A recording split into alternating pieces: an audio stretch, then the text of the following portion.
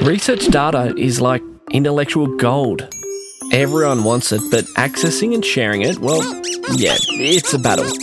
Sure, the world's getting smaller in many ways, but large amounts of critical research data have either been too slow to access or too hard to find in the first place.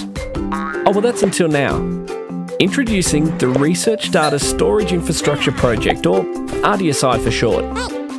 Now, this data storage framework will let you securely store and access large amounts of research data from all over Australia faster and easier than ever before. RDSI are funding data centres, or nodes as we call them, all across the country, and a secure, high speed network will make it fast. Researchers can share, collaborate, and reuse their results, which means less duplicate research. And with access tools specifically designed for different disciplines, finding exactly what you need is simple. It's fast, it's secure, and it's cost effective. So stop searching for the proverbial needle and start storing and accessing your research data smarter. To find out more, visit rdsi.edu.au. It's accessible research data made simple.